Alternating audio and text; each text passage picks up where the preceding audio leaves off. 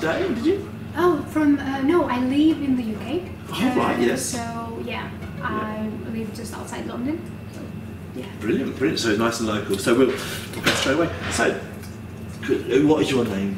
Tell us So- your name. How, how you pronounce your Here name? is Anjeza. Anjeza. So it's written A N J E Z A, Right.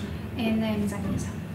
And you, of course, are in from Albania. Represent Albania in um, 2004. First representative. you are the, you are the first lady Yeah. of Albania. Yeah. Wow, that's me feel really good. Yeah, You it feels, do. It feels always good. It's like yeah, part of the history now. So Of course. cool. Yeah. And what a great song it was too. uh, the song image of the you? image of you. Yeah. I was watching some of the the um, the national final songs when you were singing in, in, the, in your native language, and the original version was quite different Yes. to what, what what came out, wasn't yes, it? true. Well, because when we did the song, we didn't thought about Eurovision at all at the moment, and you, because I think we all weren't prepared for a Eurovision Song Contest. Maybe it was first year, and no one actually was ready for that yet.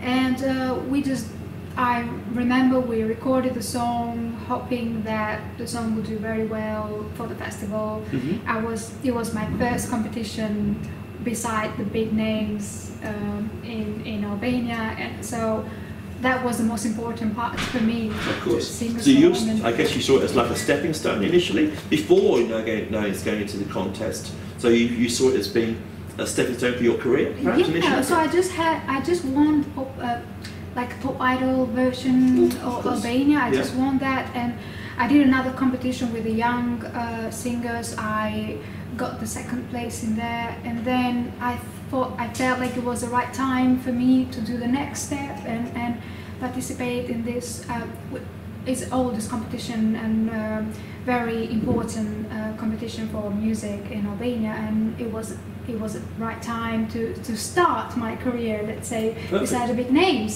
And that was it. Uh, without thinking uh, Anything what would that, happen. yeah, course. what will happen. Were you aware of Eurovision beforehand?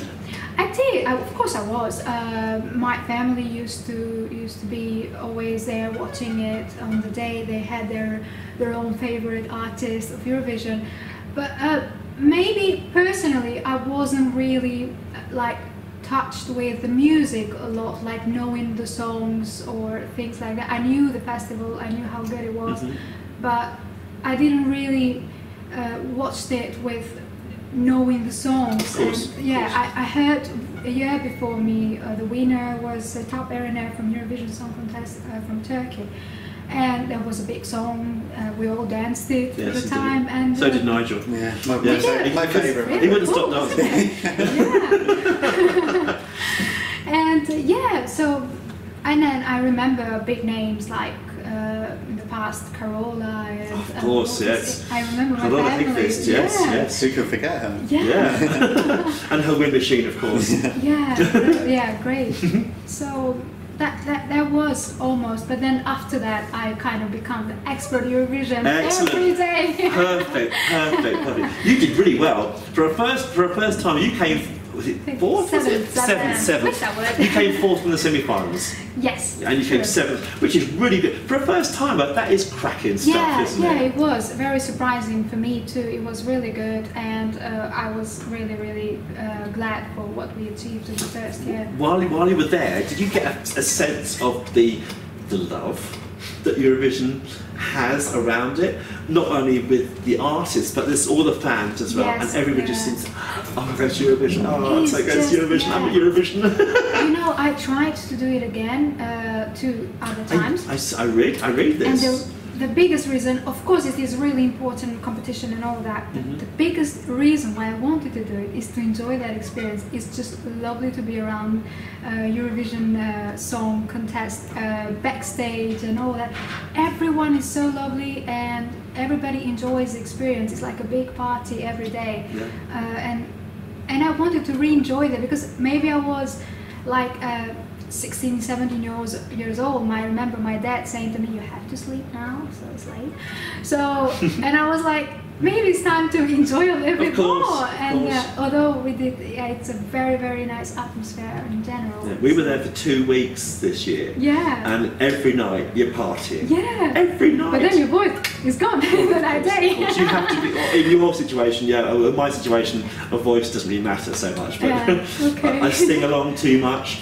The number of times I've got to the end of Eurovision and you can't hear me. I sing along too Well, much. that's, that's a fun. it is fun. Yeah, I, I just absolutely love it. And what we feel every time that it brings so many countries together, Mm-hmm. and there is such a great camaraderie about the whole thing about it. True. And what we've what we've discovered more and more over the last two or three years that when we get to meet the artists, it's not them and us; it's us. Yes. We're all in that big party together. Yeah, it's, it's like a big club.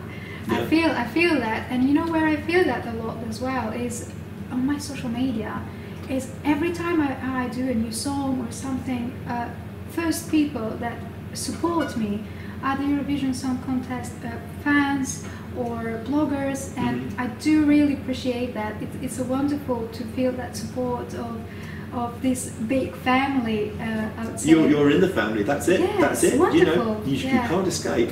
Absolutely, I, yeah. We all know what this is about. Uh, so yeah, I feel glad I'm in that time. You do know that, that uh, obviously there's, there's artists that which which have been in the contest before who go back to uh, Eurovision if that they don't necessarily represent their country but they represent themselves and they Yeah. perform at the, the, the clubs there as well, Euro Club. And we've seen quite. I think we saw. We, that's when we first met Anne Marie David. We met her in Vienna Yeah, and uh, she's been friends ever since. And and the fact that you can go to those things, you can still be part of that atmosphere. yeah. You know, I didn't, I didn't know that too much about it until I actually moved here in UK. Right. and uh, I've been invited into uh, different um, uh, events for Eurovision, such as uh, I did a small show with the BBC where there was supporters for Eurovision, and then another uh, interview with with a Scottish um, with the Scottish radio, and it's like it's very wonderful. Oh, I know who that was. That'd be Tommy Ferguson, wouldn't it? I See, Tommy big family. So, and then I and then I got this invitation, and then I heard how many events are going on about it, and um, that is very wonderful to that that uh, people. Um, that uh, like Eurovision song. It's that uh, dedication, songs, it's uh, like- yeah, it's still there. It tends to take over your I life a couldn't feel bit. this. I had once in Germany a, a concert. Uh, we went for a concert again, uh, quite similar, but it was long time back. And in Albania we do have parties, but it's only during the time of Eurovision. Right. So now, and we all, the, the participants now, it's been 14 years, all the participants that uh, been in Eurovision, we, it's like a, we all know each other Of a little bit better because we know the experience. So yeah, it's it's very We, we very used to do parties. We did parties for about 15 years running, which got more and more outrageous each year. We started off quite quite tame, and then it got to like um, big widescreen television in the garden with lasers and smoke machines and everything else. And that was the garden. And thought, can't do anything more. We have to go to Eurovision. We went, and this is what we do now. It's just Absolutely, yeah. it's lovely. Uh, I, I do now follow the British version of Party Eurovision Party Day when we watch the Eurovision. Yeah, that's great. That And you have lots of friends together. Yeah, bring it all, and it's and you know it's it's just about that getting people together and, Yes. and just like enjoying.